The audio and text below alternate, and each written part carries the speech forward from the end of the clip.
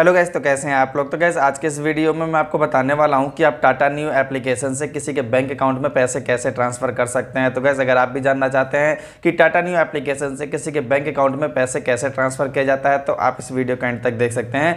Gas जैसे कि मान लीजिए कि अगर कोई यूपीआई यूज़ करता है तो आप डायरेक्टली फ़ोन नंबर सर्च करते हैं और उसके अकाउंट में पैसे ट्रांसफ़र कर देते हैं अपना यूपीआई पिन डाल के।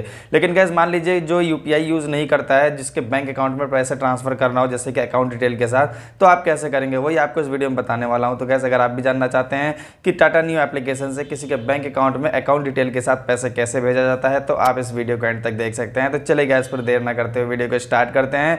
तो गैस अगर आपको वीडियो पसंद आए तो इस वीडियो को लाइक कर देना। और अगर आप मेरे चैनल पर नए हैं तो प्लीज़ मेरे चैनल को सब्सक्राइब कर लेना। और इस बेल आइकन को भी प्रेस कर लेना, ताकि आने वाली वीडियोज़ की नोटिफिकेशन आपको सबसे पहले मिल सके। तो चले गैस पर वीडियो को आगे बढ़ाते हैं। मैं आपको बता देता हूँ कि कैसे आपको टाटा न्यू एप्लीकेशन से किसी के अकाउंट में पैसे ट्रांसफ़र करना है अकाउंट डिटेल के साथ। तो गैस इसके लिए चलना पड़ेगा हमें अपने मोबाइल के स्क्रीन पे ताकि मैं आपको प्रैक्टिकली करके दिखा सकूँ। तो चलिए गैस पूरा मोबाइल के स्क्रीन पे चलते हैं। तो गैज़ हम मोबाइल के स्क्रीन पे आ चुके हैं। तो गैज़ अगर आप टाटा न्यू एप्लीकेशन के थ्रू किसी के बैंक अकाउंट में पैसे ट्रांसफ़र करना चाहते हैं अकाउंट डिटेल के साथ तो आपको सिंपली क्या करना है? अपने फ़ोन में टाटा न्यू एप्लीकेशन ओपन करना है। तो यहाँ पे आप देख सकते हैं कि टाटा न्यू एप्लीकेशन है।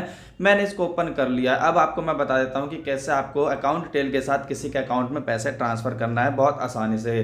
तो गैज़ यहाँ पर आप देख सकते हैं कि सबसे ऊपर आपको स्कैन एंड पे लिखा हुआ है। सेंड मनी है और यहाँ पर पे बिल है फाइनेंस है। तो अगर आप सेंड मनी पे क्लिक करेंगे तो इस पर आप जिसको भी पैसे ट्रांसफ़र करेंगे तो उसका पहले टाटा न्यू एप्लीकेशन पे अकाउंट होना चाहिए। उसके बाद आप, उनका जो है यू पी होना चाहिए तो ही आप यहाँ पे अकाउंट में पैसे भेज सकते हैं, ठीक है? तो यहाँ पे अभी हम इससे नहीं भेजेंगे, हम अकाउंट डिटेल के साथ भेजेंगे, जिसके पास यूपीआई नहीं है, जो यू यूज़ नहीं करता तो आपको सिंपली नीचे के साइड में दिखेगा, टाटा पे का एक ऑप्शन है, आपको टाटा पे वाला ऑप्शन पे क्लिक करना है। जब आप इस पर क्लिक करेंगे तो यहाँ पे आप देख सकते हैं कि आपके सामने बहुत सारे ऑप्शन दिखेंगे तो आपको यहाँ पे अकाउंट ट्रांसफ़र एक ऑप्शन दिखेगा, यहाँ पे दूसरी लाइन में यहाँ पे तीसरे नंबर पे अकाउंट ट्रांसफ़र आपको सिंपली अकाउंट ट्रांसफ़र वाले ऑप्शन पे क्लिक कर लेना है।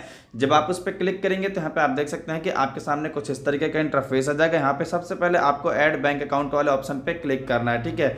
जब यहाँ पे आप ऐड बैंक अकाउंट वाले ऑप्शन पे क्लिक करेंगे तो जिसको आप पैसा भेजना चाहते हैं, उनका डिटेल यहाँ पे भरना पड़ेगा आपको। जैसे कि उनके पासबुक में जो अकाउंट नंबर है, वो यहाँ लिखना है। उसके बाद यहाँ पे कन्फर्म अकाउंट नंबर है, उसको भी आपको दोबारा से वही रिपीट करना है। उनके बैंक का आईएफएससी कोड लिखना है और उनका अकाउंट होल्डर नेम लिखना है और यहाँ पे मोबाइल नंबर ऑप्शन है आप डाल भी सकते हैं नहीं भी डाल भी सकते हैं ठीक है तो आपको उनके पासबुक का डिटेल यहाँ पे रख लेना है और यहाँ पे जो जो बोल रहा है आपको यहाँ पे भर लेना है जैसे कि अकाउंट नंबर है आईएफएससी है और अकाउंट होल्डर नेम है आपको यहाँ पे फिल कर लेना है तो गैस यहाँ पे आप देख सकते हैं कि मैंने डिटेल जो है फिल कर लिया यानी कि मैं अपने ही दूसरे बैंक में पैसा भेज के दिखाऊँगा आपको उसके बाद यहाँ पे आपको प्रोसीड वाले ऑप्शन पे क्लिक करना है जब आप यहाँ पे क्लिक करेंगे तो यहाँ पे आप देख सकते हैं कि आपके सामने कुछ इस तरीके का इंटरफेस आ जाएगा आपको यहाँ पे दिखाया जाएगा कि आपके किस बैंक अकाउंट से पैसे कट के उनके बैंक अकाउंट में जाएँगे तो यहाँ पर आप देख सकते हैं आप चाहे तो इसको चेंज भी कर सकते हैं ठीक है तो यहाँ पर आपको सिंपली क्या करना है सबसे पहले आपको यहाँ पे अमाउंट डालना है ठीक है तो यहाँ पे अमाउंट का ऑप्शन दिख रहा होगा आपको सेलेक्ट अमाउंट तो आपको यहाँ पे अमाउंट डाल देना जितना भी रुपये आप भेजना चाहते हैं एग्ज़ाम्पल के लिए मैं यहाँ पे दस रुपए भेज के दिखाऊँगा आपको ठीक है यहाँ पे मैंने दस रुपए लिख दिया है